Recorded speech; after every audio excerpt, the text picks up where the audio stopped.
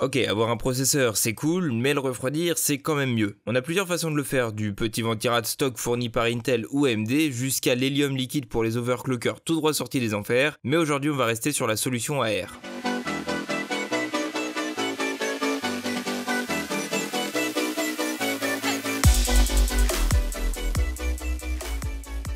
Comme on ne sait pas trop ce que tu as entre les mains en regardant cette vidéo, on a décidé de te montrer comment monter deux types de ventirad.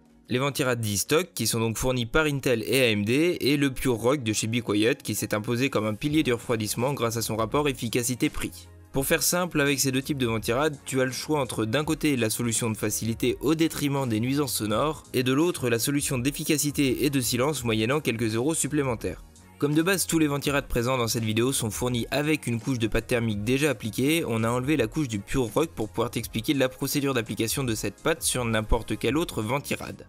Idéalement, que tout ton matos sorte des cartons ou que tu changes juste ton ventirad, commence déjà par nettoyer ton processeur avec au minimum un sopalin et au mieux un kit de nettoyage complet pour être sûr d'enlever toute trace de gras ou de saleté qui pourrait rester dessus. On va commencer par le radiateur fourni par Intel. Son système d'installation fait partie des plus simples qui existent actuellement. En fait, il est composé de 4 points d'accroche qui, quand on les fait tourner, peuvent descendre et s'écarter pour aller se bloquer dans la carte mère et verrouiller le ventirad.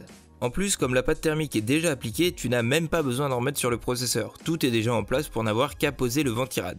Côté carte mère, on remarque 4 trous autour du processeur, trous dans lesquels vont aller se bloquer les fameux points d'accroche.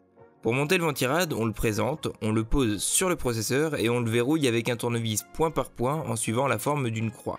Pour bloquer un point d'accroche, il suffit de tourner dans le sens de la flèche pour déverrouiller la descente, d'appuyer pour le faire descendre, puis de tourner dans l'autre sens pour l'empêcher de remonter.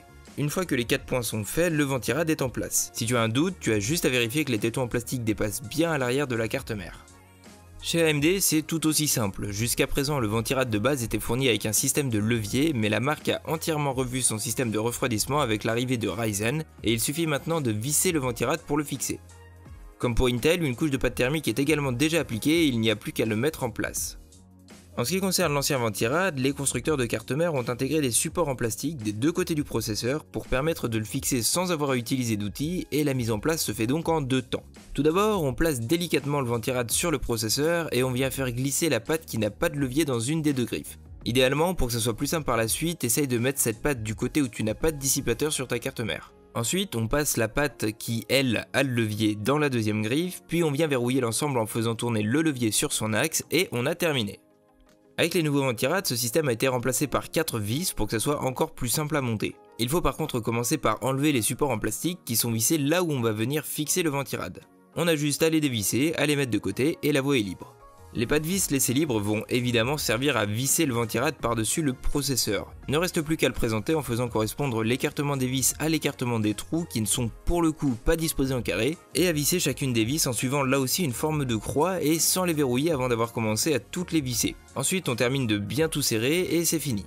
Si maintenant tu as la chance d'avoir l'un des derniers processeurs overclockables ou que tu veux gagner en silence et en performance, tu vas devoir passer un ventirad plus costaud mais du coup un peu plus compliqué à mettre en place.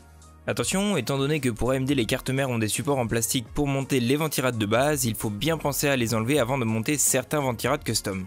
La première étape consiste à préparer la backplate, cette plaque de métal qui viendra se caler au dos de la carte mère et supporter le ventirad. Pour ça, Bicoyote fournit des anneaux en caoutchouc qui viendront maintenir les vis pendant le montage. Il suffit donc d'enfiler les vis dans les trous correspondant au modèle de ta carte mère, d'y mettre les anneaux et de poser la backplate sur ta carte mère. Fais quand même attention à ne pas forcer si ça ne rentre pas et commence par vérifier que les vis soient placées pour le bon modèle de carte mère. Attention aussi aux trois vis qui sortent de l'emplacement du processeur sur les cartes mères destinées au Intel. Si la backplate du Pure Rock ne pose pas de problème, certains ventirades ont une backplate qui a besoin d'être dans un sens bien précis pour que ces vis ne bloquent pas. Sur les X99 et toutes les cartes mères du même acabit, la manipulation se résume à visser les tiges dédiées à ces cartes sur la carte mère. Une fois que la backplate est en place, on va y mettre le support sur lequel on fixera le ventirad. Pour ça, on a juste à visser les anti-retours sur les vis qu'on a insérées à l'étape précédente, à les y serrer au tournevis, puis à y visser les plaques métalliques sur lesquelles on va poser le Pure Rock. N'hésite pas à bien serrer puisque ce sont ces plaques qui assureront la solidité de l'ensemble une fois que le ventirad sera monté. Une fois que c'est fait, on va appliquer la pâte thermique sur le processeur. Il y a une multitude de façons de faire, mais la plus simple reste celle où on en applique la taille d'un grain de riz au centre du processeur. La pression du ventirad et la chaleur du processeur s'occuperont de l'étaler de manière optimale. Pas la peine d'en mettre plus, c'est au contraire en fait. Si on en met trop, la pâte thermique se met à isoler la chaleur au lieu de la transmettre du mieux possible. Dommage. Quand la pâte thermique est mise, on va fixer le radiateur sur son support. Pour ça, on prend la barre métallique qui est incluse dans le bundle, on la pose sur le socle du radiateur et on la visse sur les plaques métalliques posées juste avant.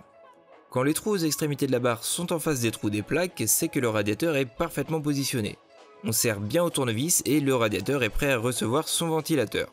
Ce ventilateur, il a une face qui aspire l'air et une face qui le souffle. La partie où les pales sont bombées aspire l'air et celle où elles sont creuses le souffle.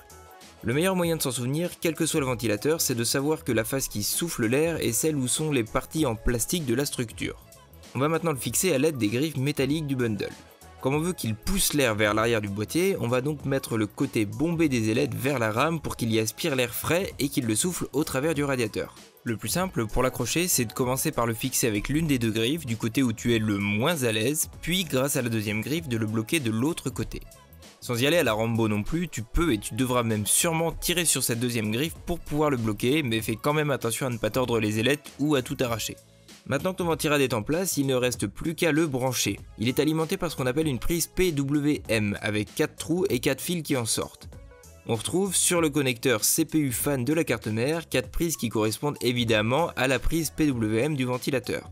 Tu as juste à l'y connecter en faisant attention à ne pas tordre ces pins pour que tout soit opérationnel. Fais quand même attention au sens dans lequel tu branches la prise. Un détrompeur est en place sur le connecteur PWM de la carte mère, détrompeur qui vient s'insérer entre les deux ergots de la prise ventilateur. C'était aussi simple que ça et ton ventilateur est maintenant prêt à refroidir le processeur. Maintenant que nous avons détaillé les deux options de refroidissement par air avec toi, il ne nous reste plus qu'à te souhaiter un bon montage. Si tu as des questions ou que tu veux nous envoyer des photos de ta machine, on est aussi là pour toi sur Twitter, Facebook, Snapchat et Instagram. D'ici là, bon montage, bon jeu et on se retrouve dans la prochaine vidéo.